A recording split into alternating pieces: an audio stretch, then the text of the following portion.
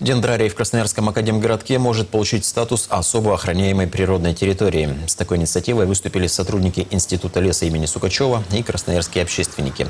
И эту идею уже поддержали в городской администрации и в Министерстве природных ресурсов и экологии края. Последние уже даже начали оценивать, что конкретно для этого потребуется. Если дендрарий станет особо охраняемой территорией, это может поставить точку в споре вокруг его застройки. Напомним, год назад стало известно, что Красноярский научный центр решил возвести на месте дендрария жилой дом для своих сотрудников. И это несмотря на то, что по правилам землепользования и застройки, которые утвердила администрация, это зона рекреации.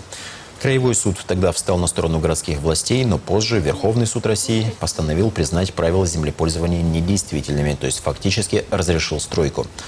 По словам специалистов, статус особо охраняемой территории будет означать, что строить дома на месте дендрария будет нельзя.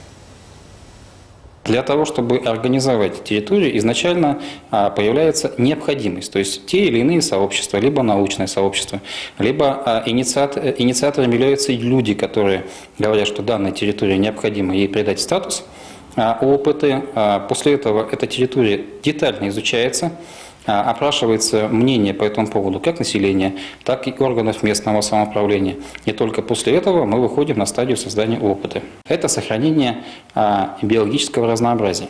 То есть выбираются только те территории, где это разнообразие максимально. Впрочем, как говорят специалисты, придать новый статус дендрарию – дело не быстрое. Земля, на которой он расположен частично, находится в федеральной собственности. И сейчас в министерстве формируют запрос в Федеральное агентство по управлению госимуществом. К тому же, чтобы придать статус охраняемой, территорию нужно будет обследовать, подготовить обоснование и пройти госэкспертизу. А деньги на это в краевом бюджете не предусмотрены. Но в Институте леса, который и инициировал этот процесс, говорят, сделать все-таки это нужно. А от этого выигрывают и горожане, которым сейчас официально доступ в дендрарий закрыт. Я думаю, что прекратятся все посягательства на эту территорию на предмет ее застройки. Это первое. Второе.